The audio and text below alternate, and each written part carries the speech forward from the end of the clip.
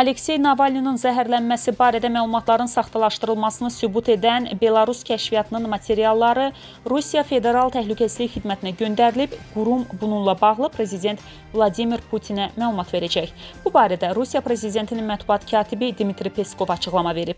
Bütün materiallar ötən gün göndərilib. Dünən diqqət yetirdinizsə, Lukashenko onları Rusiya Federal Təhlükəsizlik Xidmətinə göndəriləcəyini demişdi. Rusiya Federal Təhlükəsizlik Xidməti yəqin ki, Belaruslu həmkarları tərəfindən göndərilən sənədlər barədə məlumatlar verəcək. Buna şübhə etmirəm.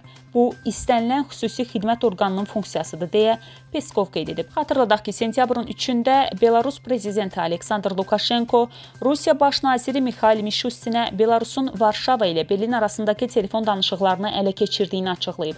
O qeyd edib ki, bu danışıqlar Almaniya kansleri Angela Merkelin Aleksey Navalny ilə bağlı açıqlamasının saxta olduğunu sübut edir və yaxın gələcəkdə Belarus məlumatları Rusiya Federal Təhlükəsizlik Xidmətinə göndərəcək.